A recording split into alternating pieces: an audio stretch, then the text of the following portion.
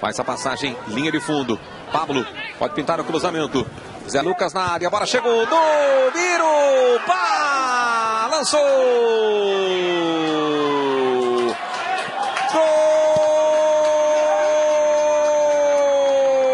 Gol do Fluminense!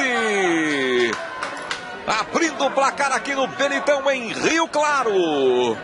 E tem dancinha para comemorar o gol do Fluminense. Cruzamento partiu lá do setor direito com o Pablo. E mais uma vez, muito bem colocado. Veja por outro ângulo. O levantamento feito.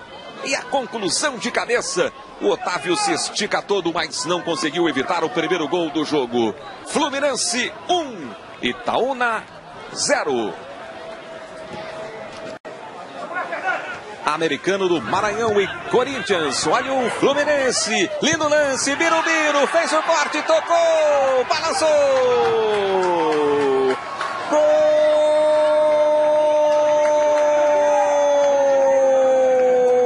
Gol do Fluminense. De novo é dele, Birubiru.